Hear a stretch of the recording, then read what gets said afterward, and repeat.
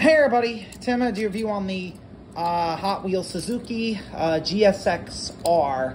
This is a funky looking casting. This looks like a futuristic kind of, it's like a, it's like a weird, it's like an alien kind of car. Like, it looks weird. It's like futuristic. And it's just straight. It's like a straight, uh,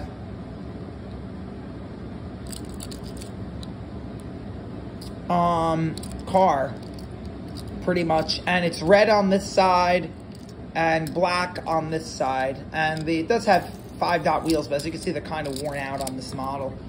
Um, this model is an okay shape. I mean, I kind of did use this model quite a bit because it was one of my favorites. So, um,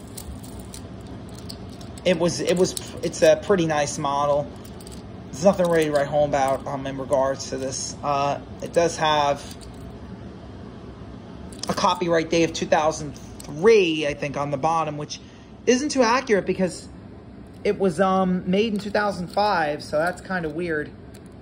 Um, but yeah, I mean, this is a nice little car. Um, it's a Suzuki GSX R-4, so that's pretty nice. Um, I'm going to check and see what number it is so I can post it and put it in my playlist so you guys can see it.